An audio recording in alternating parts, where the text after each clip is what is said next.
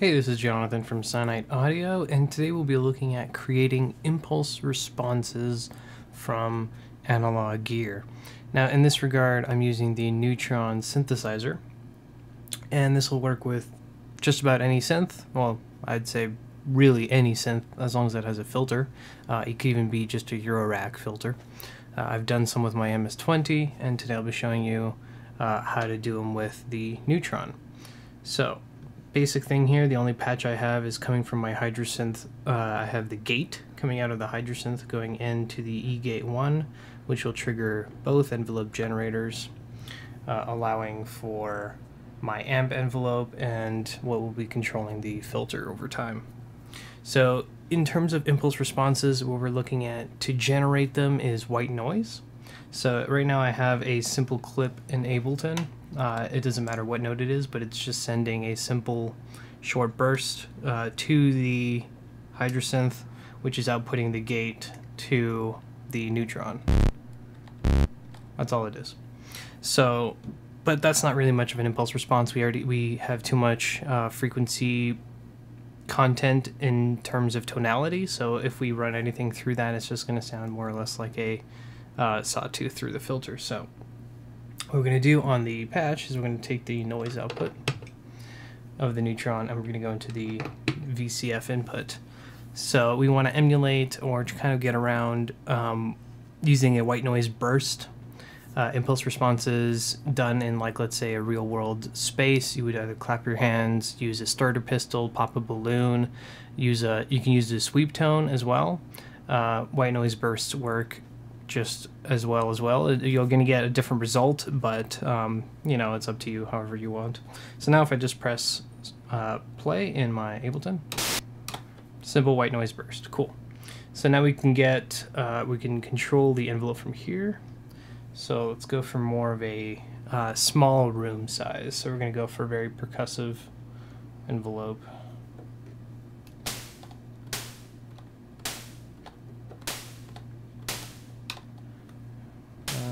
Let's increase the gain or the drive a bit.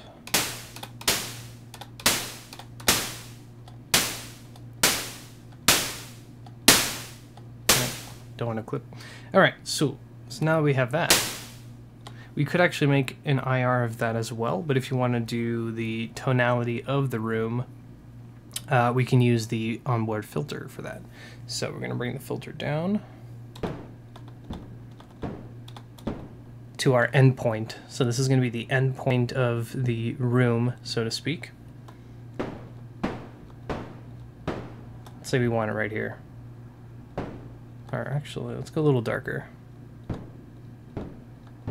Okay, that's perfectly fine. So now we will use the envelope depth to control the amount of this second envelope that will decay our high frequencies over time in the created room.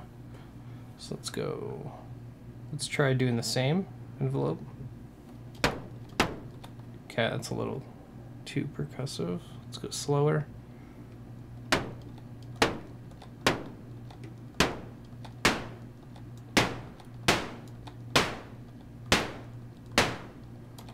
Let's go darker on the room.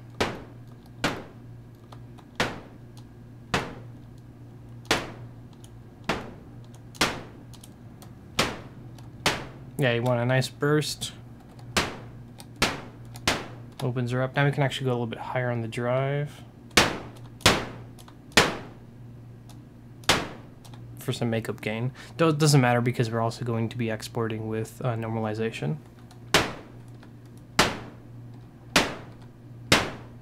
Okay, cool.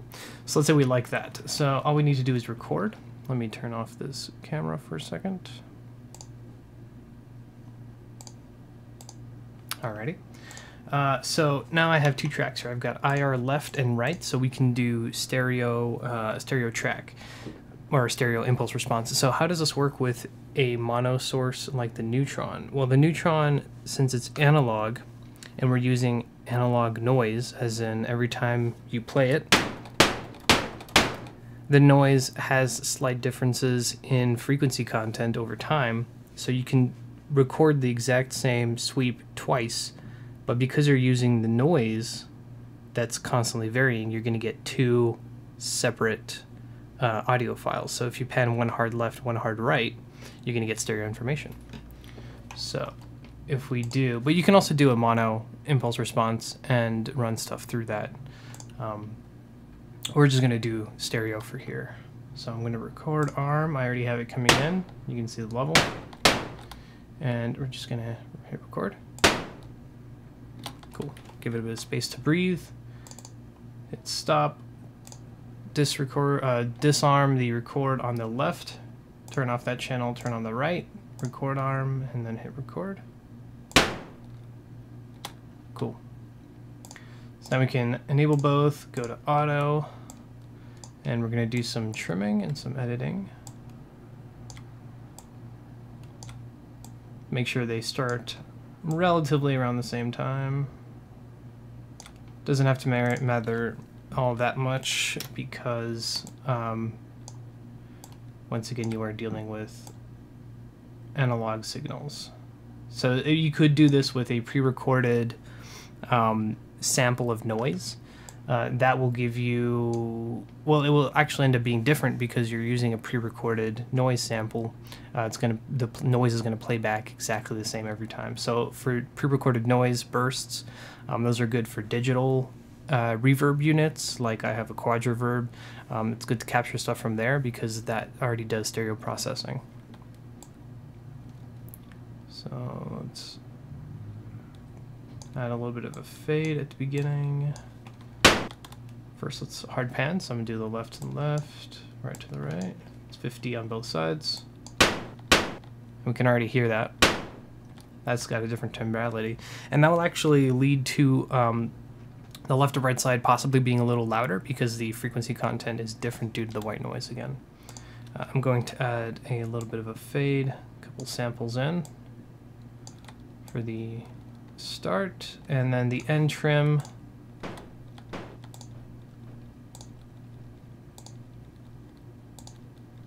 Let's do that here. So control E, delete that, and then we're just gonna add a little bit of a fade. And we're going to make that a little steeper towards the end. So now let's listen back. Okay, so all we have left to do is select both of these, I'm going to disable the MIDI track. I have a little the little rock loop uh, with an MConvolutionEZ uh, on it. So this is what we're going to be using to uh, listen back to what we have here. So once again, just select both of these, do Control Shift R or File Export or Render, and we are going to normalize. Uh, I'm keeping at 44.1 because that's what I have my session at.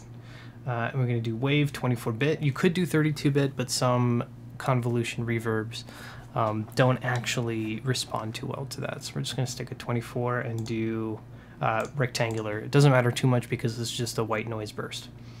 Uh, so it'll actually, if anything, it'll add to the character of the impulse response.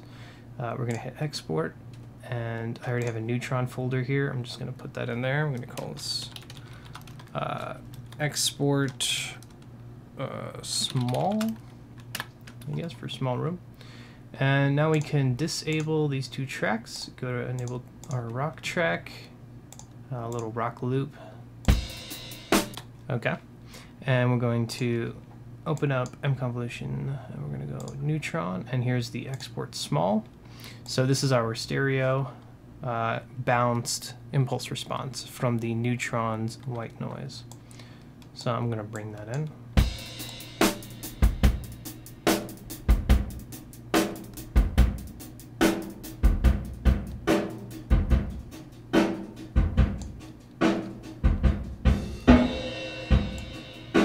Uh, watch your gain as well. Sometimes, uh, because due to the impulse responses, it might boost certain frequencies. Here we have a bit of, good bit of low end, so you might want to uh, adjust your pre and post gain depending on how you're using this.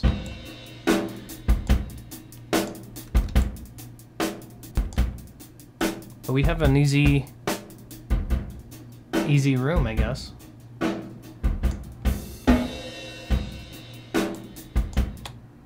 And all it took was, I don't know, 10 minutes? Really? Not too bad.